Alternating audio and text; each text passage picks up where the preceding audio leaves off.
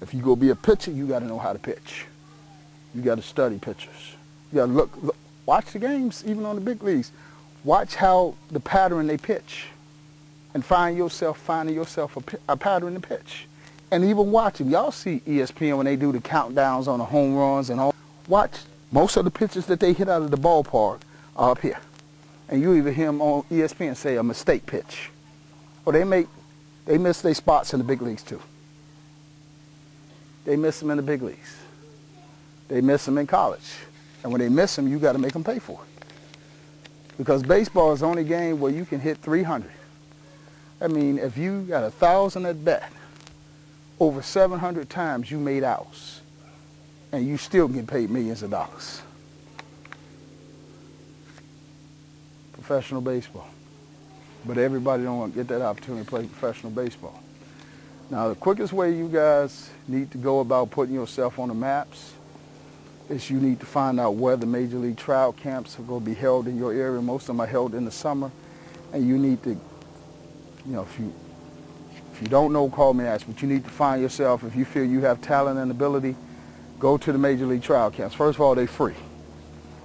A lot of these showcase and that you pay these hundreds and thousands of dollars to be involved in, they're not going to get you what you're looking for because for most of those people that's running those, they're money makers.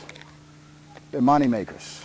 And then most of them can't, they, base you go there and that's the only contact you have with them. Once it's over, that's it. If you want to get real exposure to scouts, go to the scouts. You have to be known by the scouts in your area. And want, if you go out there and you do well, your name will, they'll, they'll get to know you. They'll start inviting you to the camps. They'll have some invitation only one-on-ones. They'll have work trials invitation only at the, at the major league ballparks, you know, the Cubs, Sox, Yankees, whatever, that you'll get personal invitations to be at when you reach the level that they're interested in you. They're going to pick from those trial camps, they top ball players, and they'll invite you down. And if you really in the top echelons of prospects, they'll even fly you in to those workouts. So that's where you want to be if you want. And scouts pass information on to college coaches too on players. You know, they pass them on. So that's where you, the circle, if you want to get in that upper echelon circle or be in high profile settings. If you find high profile tournaments that's going to get you some exposure, get in those because they want to come see you play. I can work you out and get a feel for you. But that don't tell me how you're going to do against competitive competition when you face real pitching. That don't tell me how to respond with the pressure the game is on you. When you go out there and I see you throwing BP, a BP pitcher, throwing, that, that tells me if you got bat speed. But everybody don't respond the same to the pressure of the game. Some people are money ball players. They rise. Some people fold tent when it's time to the money, the game's on the line. And, But in their mind, psychologically, that's what they are. And they all feel. Freeze. You're a money ball player, you get up there, two outs, bases loaded. I want the fuck. coach. Give me the bat. I'll hit. Some guys don't want to hit. Damn, I hope that's a ball. Close his eyes. What's that, Blue? Oh, you'd be surprised. You'd be surprised. So, you know, good competition they're going to go where good competition at. I mean, as anything, you know, when you're scouting, you're one person. If you got five events going on, five different tournaments in this Florida area where Key is in, you can only see one game at a time. So you're not necessarily going to see all the players just because they're at a tournament or a showcase or so on and so forth. But if you got them at your own individual workout, you get a chance to see those ball players. So we want to enhance your guys' opportunity toward the future in baseball. Those you that feel you have a future in baseball, we want to enhance it. We want to help. We want to give you the knowledge of what it takes. So when you walk out there on the field at a trial, you already know what I got to do. Just as simple. So I'm gonna cut it short because I, like I said, I can't give it all to you in, in five minutes. It's you know, it's a process. It's a learning process. But this is baseball on the next level, and I, I, hope it was beneficial to you. I hope you got something out of it, and I hope in a couple years uh, to, to see some of you guys advancing in baseball. And you guys can feel free to keep in touch with me because I'm to be available. I'll give you pointers. I'll give you advice. If I can help you, I can help you. I can help you. Just gonna finish off right here. It comes down to it. Yes, it is. It comes down to it like this. It don't matter how good you are. If you don't really want it, get there. Got heart and you got semi a little bit talent, just a little bit or whatever. You could always work on that. So I'd rather take somebody who has the heart and is willing to learn, shuts up and listens and does what it takes, than to take a, a player who who has the skills, the raw talent, but doesn't want to show up, doesn't want to listen, and is half-assed about everything.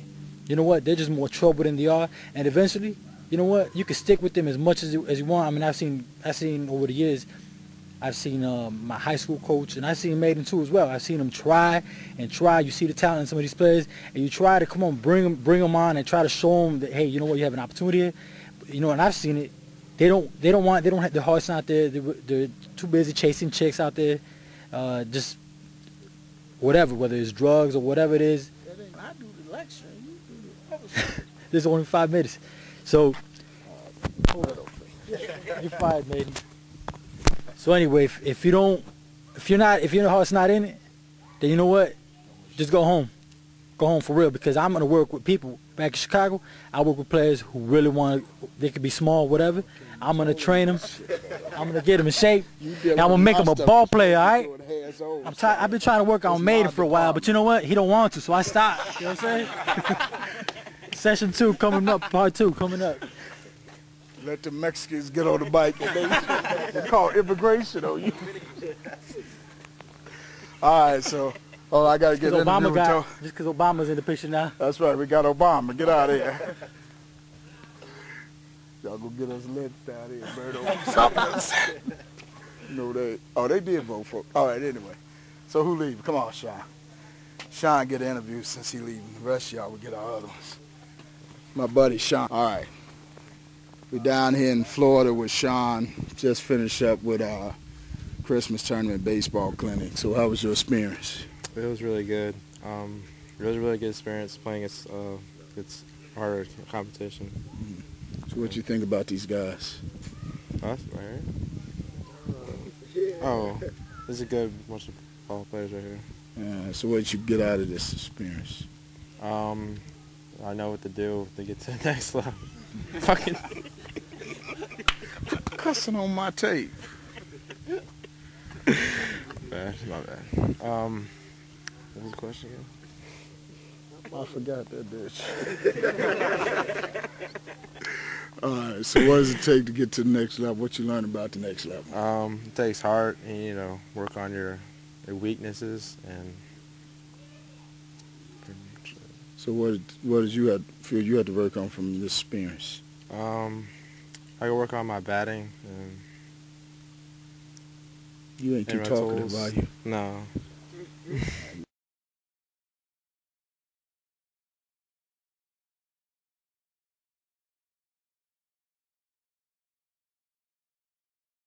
All right, this is your last chance.